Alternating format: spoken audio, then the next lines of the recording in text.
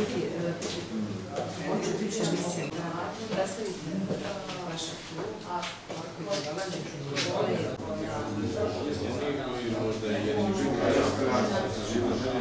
Dobrodošli na izložbu fotokluba Elema iz Skopja. Izložba je povodom 50 godina postojanja kluba.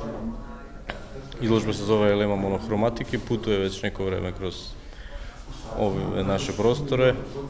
bila je u Mariboru 2012. bio Maribor grad kulture, Europski grad kulture.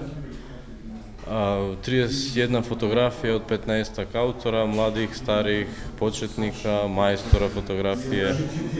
Izložba se zove Elema monohromatik, to je kao crno-bijela i ova koja ima jednu boju u njoj po propozicijama se može računati kao monohromatska.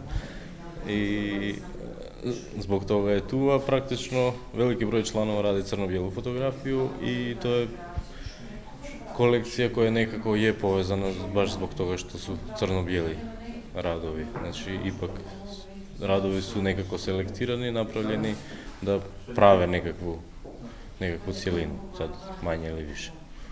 Imamo još pregovore za nekoliko drugih земаља, немамо из Босне, ако нас позову, мислам да не ќе имати проблема да, да изложиме. Просто то иде на добру волја, јер немамо буџет или некакве ствари, ниту па, нити па нас неко ни ниту да ми плачамо да би изложили негде, просто ако нас луѓе позову, не би имали веќе проблема да изложимо где год. Нама е драго да се радува виде и во принципу тоа е тоа.